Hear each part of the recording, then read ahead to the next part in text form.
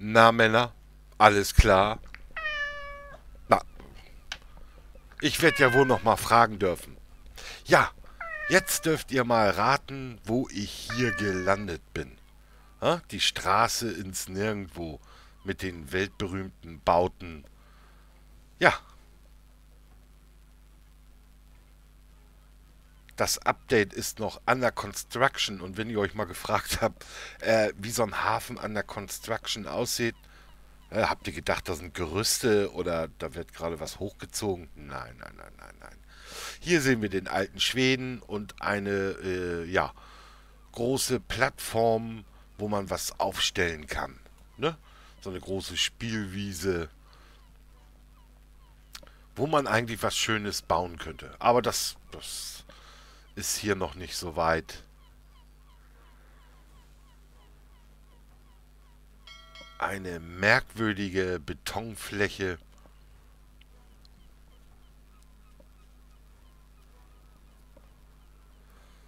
Ja, komische Begrüßung für uns. Kein Empfangskomitee, nix. Wir konnten hier einfach einlaufen. Und ab und zu wurden wir auch beschossen. Aber äh, seht ihr eine Hafenverteidigung? Also ich nicht direkt. Aber tatsächlich, ab und zu fielen ein paar Schüsse. Also, vielleicht, naja. Gut gedacht ist nicht immer gut gemacht, oder wie war das? Nee, trotzdem schön hier. Es ist interessant. Also, ne, wir haben uns natürlich auch mal die Stadt angeschaut, wenn wir hier schon anlegen. Die kennt man ja. Alles sehr prägnant. Ich finde das nur suspekt, dass keine einzige Dönerbude zu sehen ist.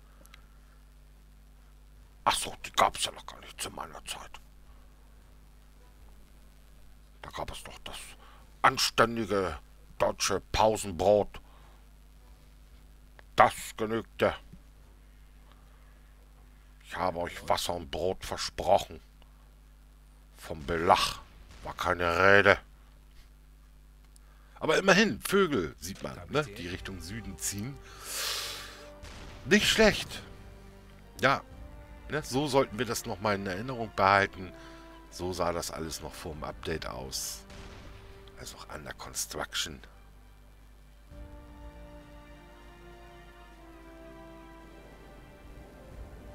Aber immerhin, die U-Boot-Entwickler geben sich ja Mühe und machen wenigstens was. Es gibt auch Spiele, die, äh, die wurden nie so richtig fertiggestellt. Bis heute nicht.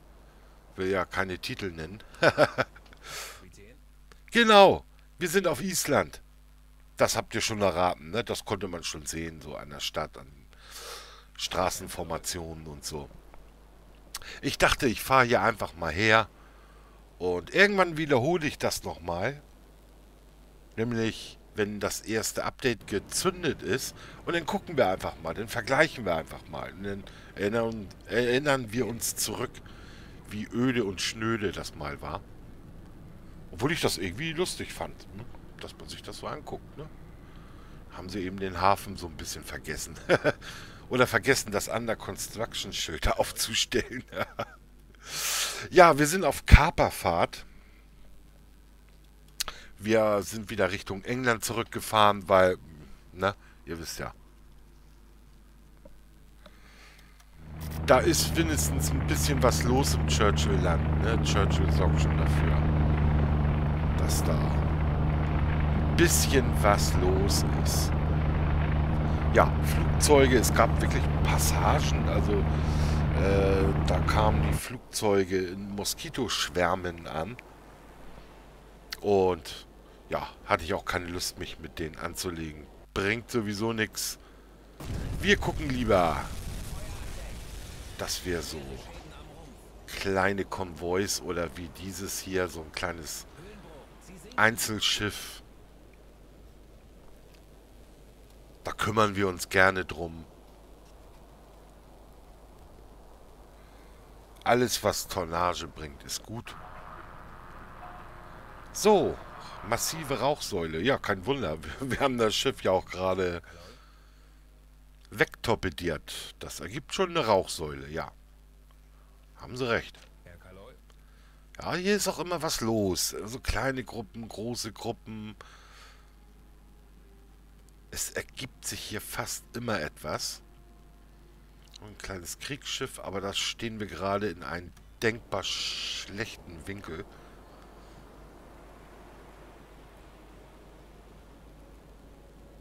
Ist auch wie aus dem Nichts aufgetaucht.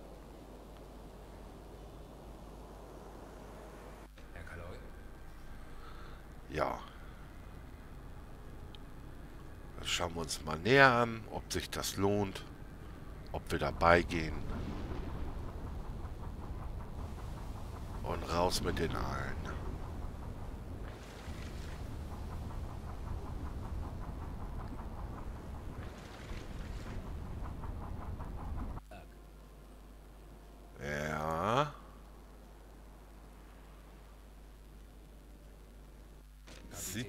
schlecht aus.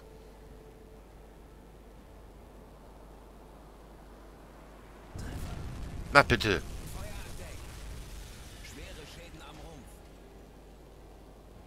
Auf den Engländer ist Verlass. It's tea time.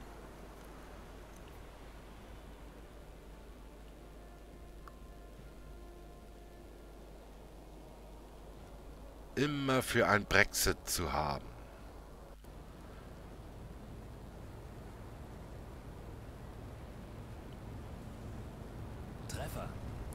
Uiuiuiui. Naja, den, den Frachter müssen wir natürlich auch gleich mitnehmen. Ne? Das ist ja... Versteht sich ja von selbst.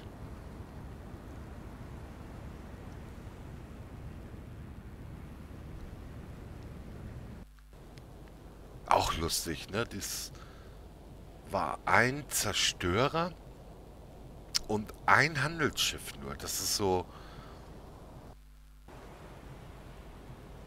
kein zusammenhängender Konvoi. Alles nur so kleine Grüppchen.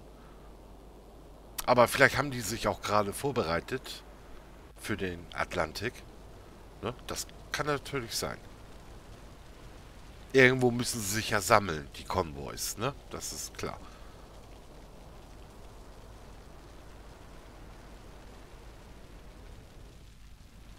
Sieht cool aus, ne? Erinnert mich irgendwie an Titanic, ne? Vielleicht ein paar Schornsteine mehr und dann könnte das eine Titanic-Szene sein, ne? Ach nee, stimmt ja nicht. Die hatten ja gar nicht so viel Rettungsboote. ja, stimmt. Ne? Wenn man so ein Riesenschiff baut, ne? Da braucht man doch keine Rettungsboote. Das ist doch unsinkbar. Was wollen wir denn mit Rettungsboote? Ach. Ich sag ja, Rettungsboote werden überbewertet. So, wir gucken mal, was da noch so im Dunst herumfährt. Hm, der schöne Prager Schinken, ne? Oh. da würde ich mir jetzt auch gerne eine Scheibe von abschneiden.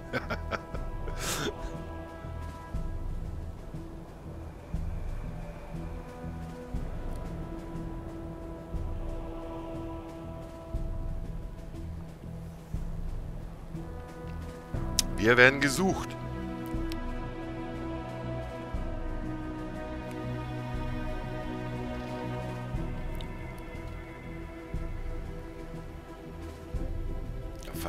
Uns einer ausfindig zu machen.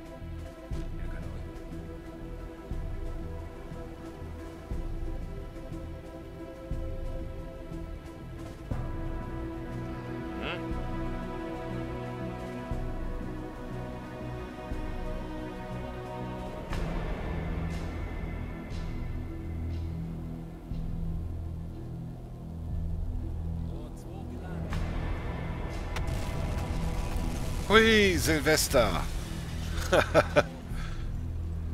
Happy New Year. Sehr gut gemacht. Und ganz ehrlich, ich wollte eigentlich gar kein Video mehr machen äh, vorm Update. Weil, naja, ihr wisst schon warum. Aber, naja, ich wurde doch von meinen Stammguckern gebeten, trotzdem mal so eine Zwischenmeldung zu machen. Ja. Und dann dachte ich, ah klar, mache ich doch gerne. Ich spiele U-Boot ja auch gerne. Das ist wirklich einer meiner Hauptspiele und Hauptmotivationen.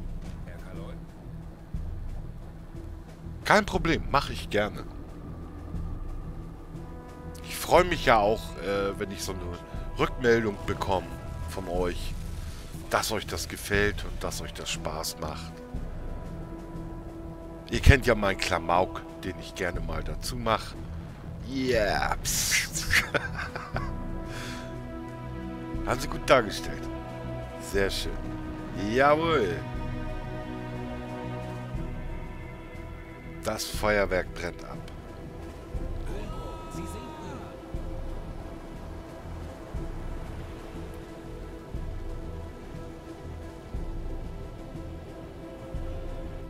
Und was soll's. Das Update ist ja auch nicht mehr fern. Es soll sich ja im Sommer noch abspielen. Ich vermute, es muss irgendwann im August kommen. Also das ist, denke ich mir. Ne? Vielleicht Anfang August, Mitte, Ende. Irgendwo da muss es ja kommen. Die erste Stufe, um vom Early wegzukommen, Anfänglich wollten sie das ja mit einem Update machen, aber so haben sie sich das aufgeteilt in zwei. Finde ich auch sehr vernünftig. Finde ich vom Playbay äh, gut gedacht. Ne? Und sie lassen sich Zeit und feilen dann da dran. Und äh, ich, ich finde das völlig in Ordnung. Weg mit der Leuchtkugel. Eieieiei, was ist denn hier los? Das ist ja das reinste Effektfeuerwerk. ja, geil. Das ist schön. Das könnte ich mir stundenlang angucken, ehrlich.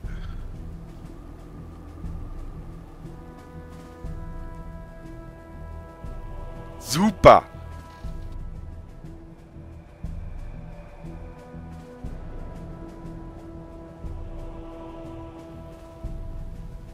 Der Orgasmus für jeden Kaloin. Jawohl. Übrigens ist das eine Zusammenstellung von meiner Kaperfahrt. Also nicht, dass ihr euch wundert. Ja, meine Torpedos waren zwar komplett und vollständig, aber das ist eine Zusammenstellung. Ey, ich dachte, das muss ich einfach mal festhalten, sowas. Hä? So. Maria Magdalenas Schokoladenorgasmus. Ne? So eine Zusammenstellung, ihr wisst schon. Ne?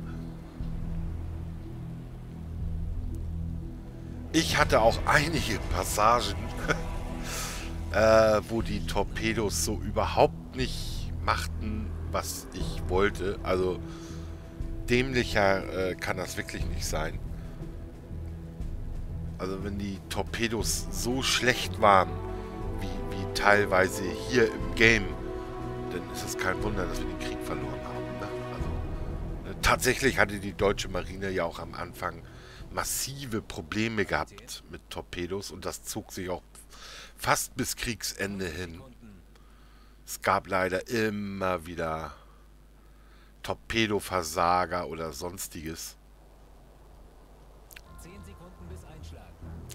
10 Sekunden. Na, das war aber kürzer als 10 Sekunden, ne? Nur ja. Ne? Das sind sowieso manchmal immer wieder so Fehlmeldungen, ne? Habe ich ja schon mal erzählt, ne?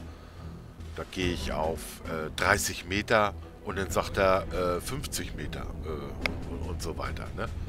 Oder Fehlschuss und dann trifft der Torpedo trotzdem, ne? Das sind immer noch so kleine, ne? Ach.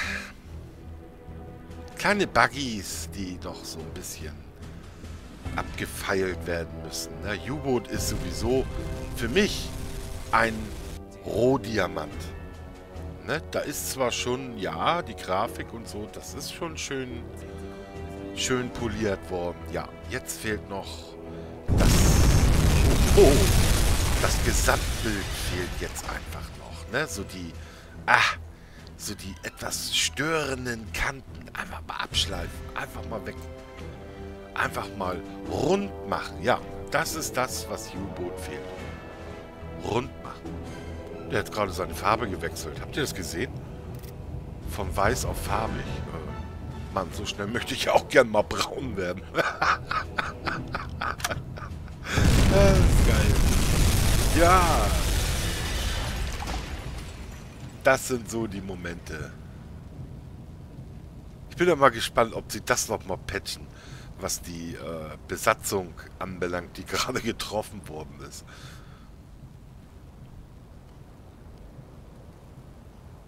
Ob sie das noch mal anders darstellen, wie sie in die Rettungsboote springen oder so. Ne? Weil das ist irgendwie unnatürlich. Der steht da äh, in Flammen und schweißt. Also ich weiß nicht, ob das... Weil die Engländer sind schon abgebrüht, ne? Aber na, ich weiß nicht. Ja. Und wir mal gucken. Nicht, dass dich der Blitz beim Scheißen trifft, ne? Nochmal eine Stichflamme hinten raus und dann geht das ab. Das ist lustig. Ja, wollen wir gucken. Wie sich das entpuppt. Na, schweiß lieber nochmal. Genau. Ne? Nochmal die Luke dicht machen. Bevor er absauft. Na, wenn das Wasser kommt, dann lösen sie sich auf. Das kennen wir ja. Gab es auch schon... Habe ich auch schon ganz urige Szenen ge äh, gezeigt, ne? Wie, wie der eine Typ, der unter Wasser raucht. Also da, das fand ich das Beste.